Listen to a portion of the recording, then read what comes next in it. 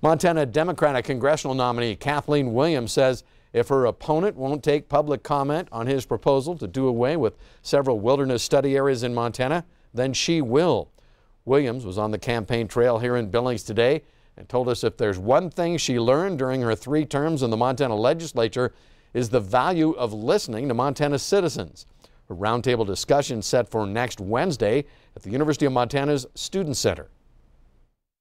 I really value public input, public process, and because there hasn't been much of it, we're holding our own WSA uh, public meeting on Wednesday in Missoula where we're bringing together a variety of interests.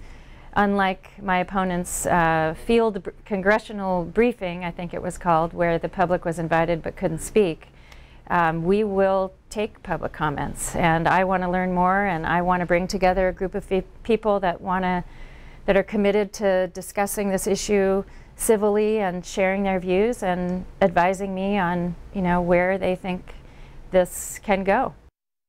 Republican Congressman Greg Gianforte, along with Montana Senator Steve Daines, are sponsoring similar bills in Congress that propose releasing as much as 690,000 acres of wilderness study areas in Montana, but as yet no public meetings on the issue in Montana. Williamson's camp says that next Wednesday's nonpartisan roundtable conversation is free and open to anyone who wants to participate.